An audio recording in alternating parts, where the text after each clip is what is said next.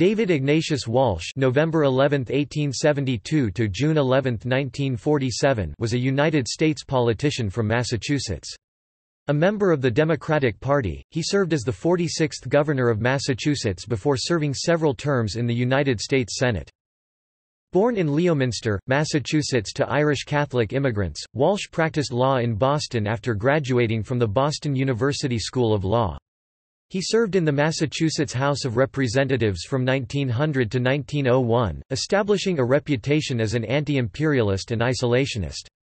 In 1912, he won election as the Lieutenant Governor of Massachusetts, becoming the state's first Democratic lieutenant governor in 70 years.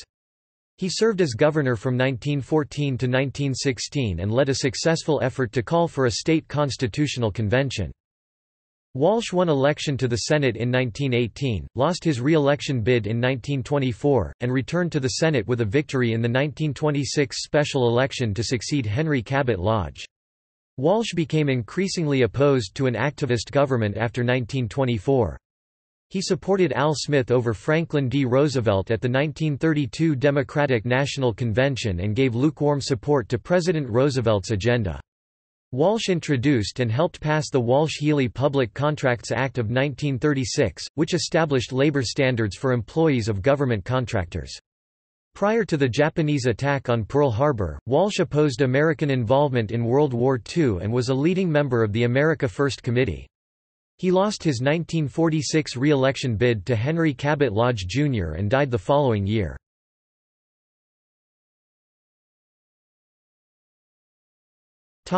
Youth and education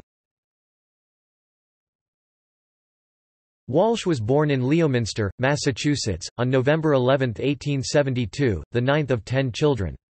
His parents were Irish Catholic immigrants. Walsh attended public schools in his birthplace and later in Clinton, Massachusetts. His father, a comb maker, died when he was 12. Thereafter, his mother ran a boarding house. Walsh graduated from Clinton High School in 1890 and from Holy Cross in 1893. He attended Boston University Law School, where he graduated in 1897. Walsh was admitted to the bar and commenced the practice of law in Fitchburg, Massachusetts, in 1897, later practicing in Boston.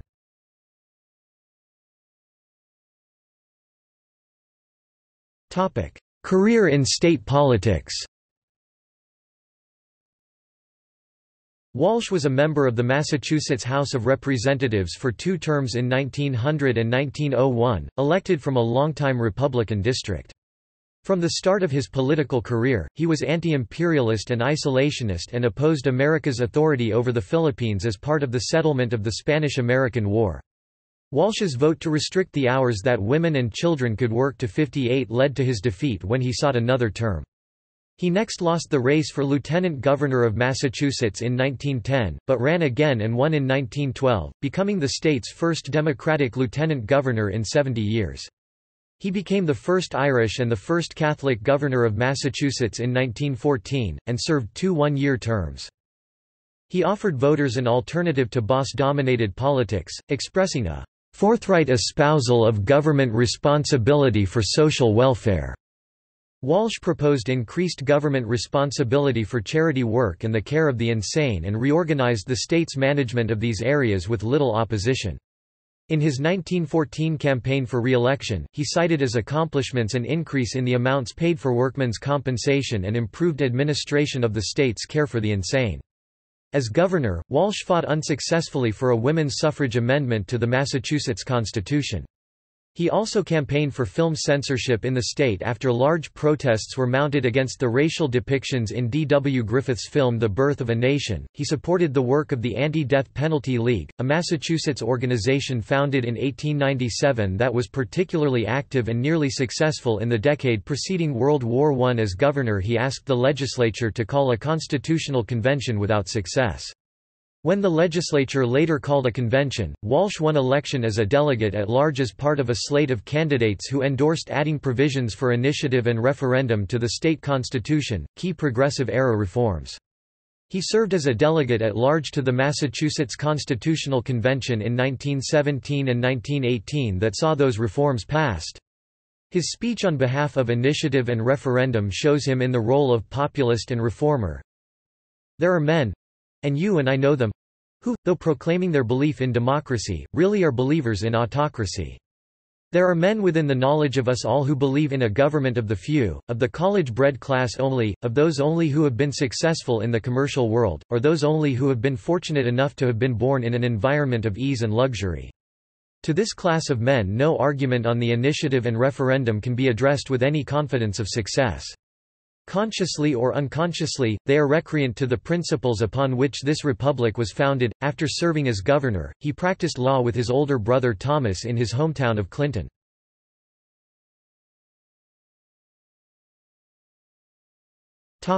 Career in national politics. In 1918, Walsh was elected as a Democrat to the United States Senate and served from March 4, 1919, to March 3, 1925. He was the first Irish Catholic senator from Massachusetts. A noted orator, he introduced Irish Republic President Eamon de Valera at Fenway Park on June 29, 1919. At the Democratic National Convention in 1924, he spoke in favor of condemning the Ku Klux Klan by name in the party platform. We ask you to cut out of the body politic with the sharpest instrument at your command this malignant growth which, injected, means the destruction of everything which has made America immortal. If you can denounce republicanism, you can denounce Ku Kluxism. If you can denounce Bolshevism, you can denounce Ku Kluxism. Walsh failed to win re-election by just 20,000 votes in 1924, the year of the Coolidge landslide, and briefly resumed the practice of law in Boston. Following the death of Senator Henry Cabot Lodge, the Republicans fought hard to retain his seat. Though Herbert Hoover and Charles Evans Hughes campaigned for his opponent, in the December 1926 special election Walsh won the right to complete the remaining two years of Lodge's term, defeating William Morgan Butler, a friend of Coolidge and head of the Republican National Committee. Walsh's 1924 defeat also marked a turning point in his political philosophy. He had previously endorsed an activist role for government, but after 1924 his rhetoric increasingly attacked the «federal bureaucracy» and «big government». Though he had once advocated in favor of federal child labor legislation, he became one of its most consistent opponents. In 1929, Time published a detailed profile of Walsh and his voting record. It noted that he voted for the Jones Act of 1929 that increased penalties for the violation of prohibition, but said the senator, "...votes wet, drinks wet." Its more personal description said, A bachelor, he is tall and stout. A double chin tends to get out over his tight-fitting collar. His stomach bulges over his belt. He weighs 200 pounds, or more. Setting up exercises every other day at a Washington health center have failed to reduce his girth. He is troubled about it. His dress is dandified. He wears silk shirts in bright colors and stripes and, often, stiff collars to match. His feet are small and well shod. Beneath his habitual derby hat his hair is turning thin and gray. Society is his prime diversion. Of secondary interest are motoring, sporting events, the theater. In Washington he occupies an expensive suite of rooms at the luxurious Carlton Hotel on 16th Street. A good and frequent host himself, he accepts all invitations out, is one of the most lionized senators in Washington. Time reported that some commented on the contrast between his political populism and his luxurious lifestyle. The profile noted he was a gruff and bull-voiced debater, but that, in private conversation his voice is soft and controlled. In some, Time said that, Impartial Senate observers rate him thus, a good practical politician, a legislator above the average. His political philosophy is liberal and humane, except on economic matters the tariff which affect the New England industry, when he turns conservative. His floor attendance is regular, his powers of persuasion, fair. When attacking the Hoover administration following the 1930 elections, Walsh identified two principal causes of voter dissatisfaction. The administration's indifference to economic conditions and its failure to recognize the widespread opposition to prohibition. Walsh won re-election in 1928, 1934 and 1940, failing in his final bid for re-election in 1946. During his Senate service, Walsh held the posts of chairman of the Committee on Education and Labor 73rd and 74th Congresses and of the Committee on Naval Affairs 74th, 77th and 79th Congresses. In 1932, he supported Al Smith against FDR for the Democratic nomination for president. He objected to Justice Hugo Black's failure to disclose his earlier membership in the Ku Klux Klan and promoted the appointment of Jews to the judiciary, notably that of Supreme Court Justice Louis Brandeis, a longtime friend. Though a Democrat, he gave only reluctant support to President Roosevelt's agenda. In 1936, when some Democrats looked for an alternative presidential candidate, he supported Roosevelt, although their relations are none too good. A newspaper reported that he is not of the insurgent type. At heart, observers in Boston say, he dissents from many of the policies of the New Deal. But, he will stay on the reservation. And, he will avoid an open break.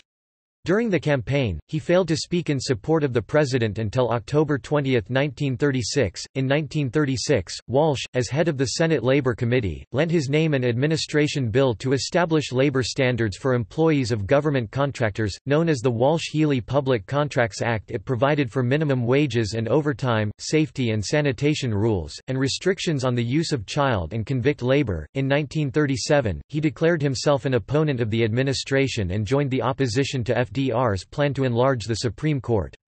Speaking at New York City's Carnegie Hall, Walsh argued his position in terms of the separation of powers, judicial independence, and the proper role of the executive. He described the public's reaction as a state of fear, of apprehension, of bewilderment, of real grief, as a result of the proposal to impair, if not indeed to destroy, the judicial independence of the Supreme Court. He also emphasized the role of the court in protecting civil liberties, citing two examples. One was the enactment, during the war hysteria, of a law in one of the sovereign states making it a crime to teach a child the German language. A teacher in a German language school was indicted and convicted. The United States Supreme Court, nine old men, sworn to uphold the Constitution, struck down that law and released from jeopardy an American citizen whose only offense was that he was a victim of war hysteria. I wonder if young men would have had the courage to do it. Another was an outburst during the Ku Klux Klan hysteria. A state legislature and the governor approved a law, supported by an initiative vote of the people, denying a parent the right to send his child to a religious school of his choosing. An independent judiciary, the United States Supreme Court, nine old men, struck down that law and proclaimed that it is an unalienable right under the Constitution for a parent to bring up his children and educate them as he may choose. He continued, Who can say when some majority of the moment may attempt to harass a minority?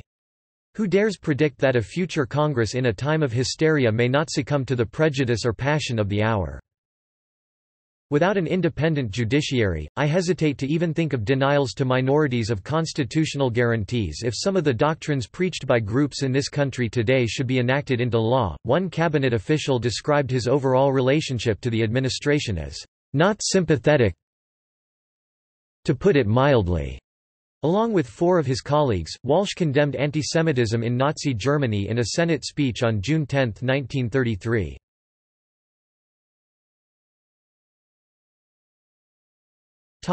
World War II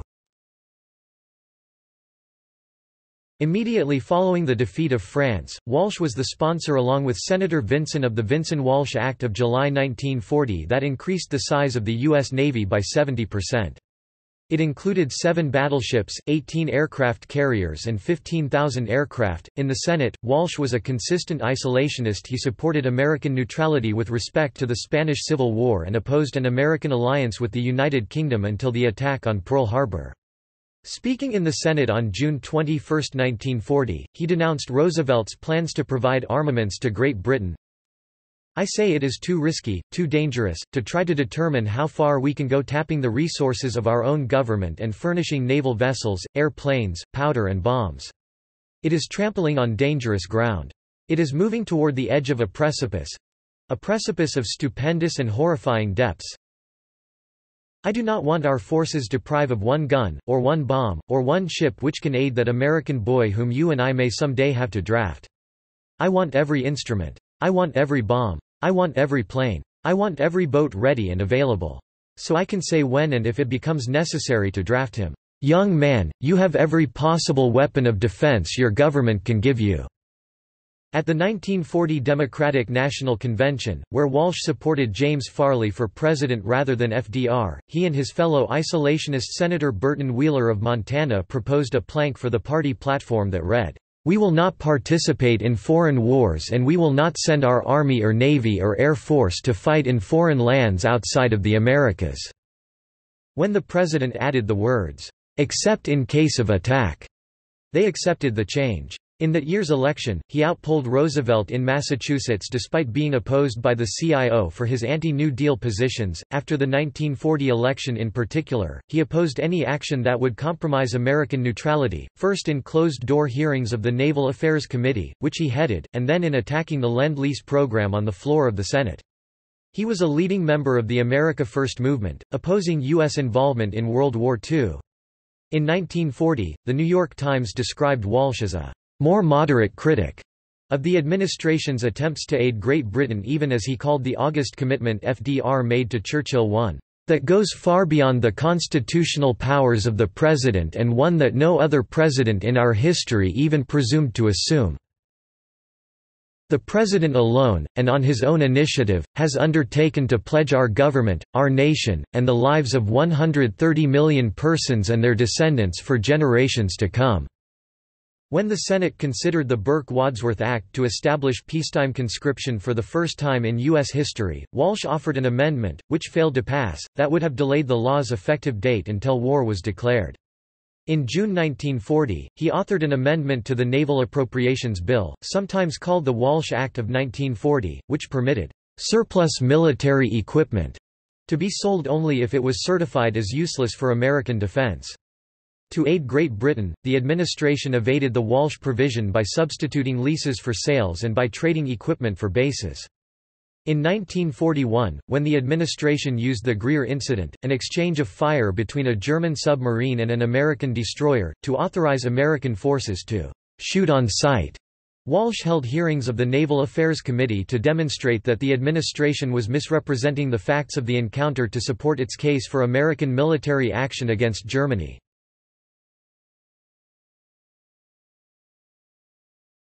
Topic: Scandal. On May 7, 1942, The New York Post, which had long favored U.S. involvement in the European conflict, implicated Walsh in a sensational sex and spy scandal uncovered at a Brooklyn male brothel for U.S. Navy personnel that had been infiltrated by Nazi spies.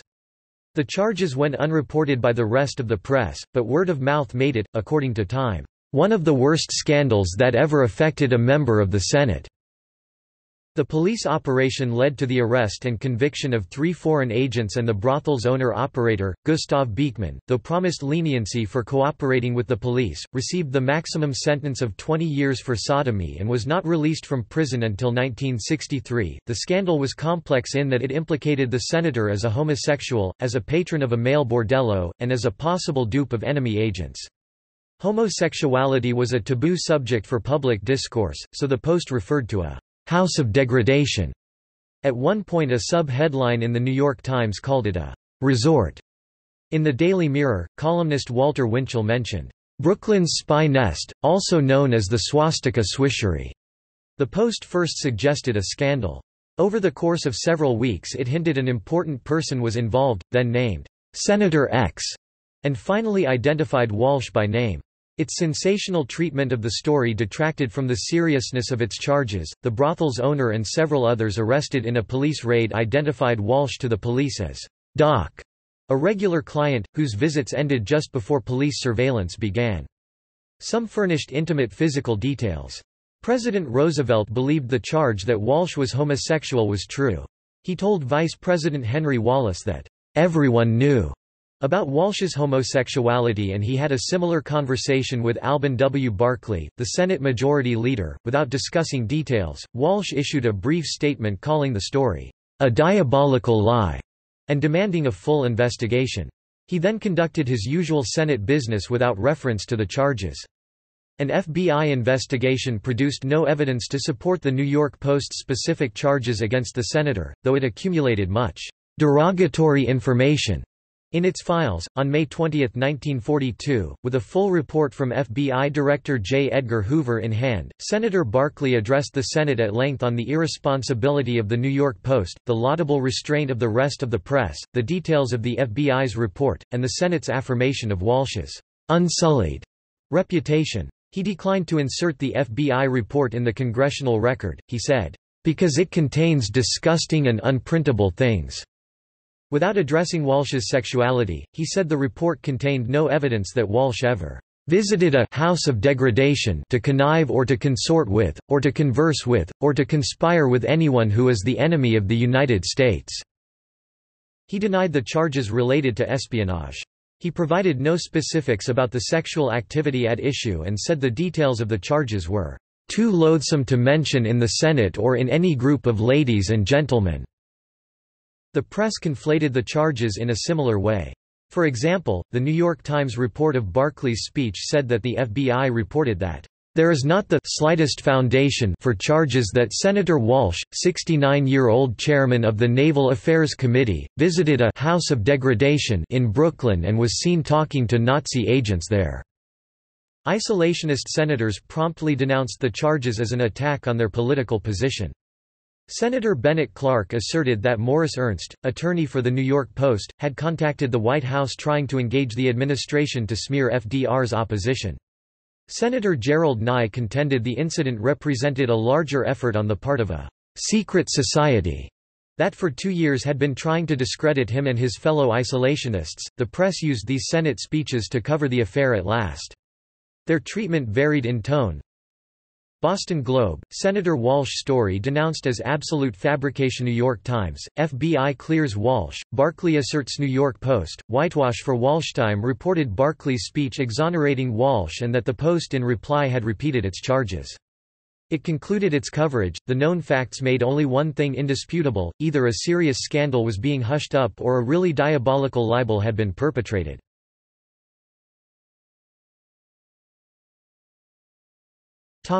Final Senate years During the 1944 presidential race, with FDR seeking a fourth term, his running mate Harry S. Truman referred to Walsh as an isolationist, a characterization Walsh resented. On November 2, just five days before the election, the president called Walsh at his home in Clinton, Massachusetts, and invited him to join the presidential party in Worcester, Massachusetts. Walsh accepted the invitation to the relief of the Democrats. The contretemps gave Walsh an opportunity to define his position, that he was no isolationist because he favored the war and seeing the war through to total victory. He also believed the troops should return home quickly, allowing only that some may be required to perform police duties in enemy territory, and the reserves demobilized. He hoped for a democratic peace, free from the influences of political expediency which compromises with imperialism and surrenders to power politics." In 1945, demonstrating that his isolationism was not absolute, Walsh voted in favor of the United Nations Charter. He was one of a dozen senators who protested the failure of the United Nations to invite a Jewish delegation to its founding San Francisco conference. Given his poor relationship with the White House, Walsh anticipated that the administration might even support an opponent in a Democratic primary when he next ran for re-election. He faced no such challenge, but was defeated in his 1946 race for re-election by Henry Cabot Lodge, Jr.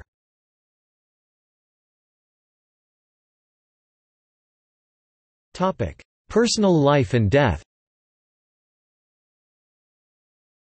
Walsh was raised a Roman Catholic and throughout his life identified himself as a Catholic and practiced his religion both in public and in private. An altar boy as a youth, in his adult years he regularly attended retreats and participated in meetings of Catholic laymen. Senate colleagues recognized his Catholic faith and occasionally baited him by challenging him to defend himself as a partisan of Catholic interests, which Walsh did not hesitate to answer. Once when a senator accused the Catholic Church of attempting to involve the United States in the Church's battle with the government of Mexico, Walsh defended the Church at length, saying in part, I am unworthy to make any defense of the Roman Catholic Church but I want to remind every senator on this floor that every one of them owes her an everlasting debt of gratitude. For fifteen centuries she alone held aloft the torch of Christianity in the world, she gave her blood to preserve it. I speak in the name of the large, tolerant and superb non-Catholic citizenship of my state. I speak also in the name of the 40% of soldiers and sailors in the last war who were Roman Catholics. I speak not less confidently in the name of the nearly 20 million Roman Catholics in these United States, and I say that the sons of my Church are loyal and true, on this issue, not less than every other, always and at all times loyal and devoted to our country, its institutions and its high aims and objects. Walsh never married. He and his brother Thomas, who died in 1931, supported their four unmarried sisters, two of whom outlived the senator. Walsh's supposed homosexuality is believed by some historians. Writing in the 1960s, former Attorney General Francis Biddle hinted at the subject when he described Walsh in the mid-1930s as an elderly politician with a soft tread and low, colorless voice whose concealed and controlled anxieties not altogether centered on retaining his job." According to Gore Vidal, interviewed in 1974, "...there wasn't anybody in Massachusetts who didn't know what David Walsh was up to." Walsh's most recent biographer writes that, "...the campaign to destroy David I Walsh worked because he could not defend himself David I Walsh was gay." He was a member of the Naval Order of the United States. Upon his retirement from political office, Walsh resided in Clinton, Massachusetts, until his death following a cerebral hemorrhage in Boston on June 11, 1947. Walsh is buried in St. John's Cemetery, Clinton. In his later years he received honorary degrees from Holy Cross, Georgetown University, Notre Dame, Fordham, Boston University, Canisius College, and St. Joseph's College Philadelphia. .A bronze statue of him by Joseph Coletti was erected near the Music Oval on Boston's Charles River Esplanade in 1954. It bears the motto, Non sibi sed patriae, a tribute to his service to the U.S. Navy while in the Senate. Walsh's alma mater, Holy Cross, awards an annual scholarship in his name.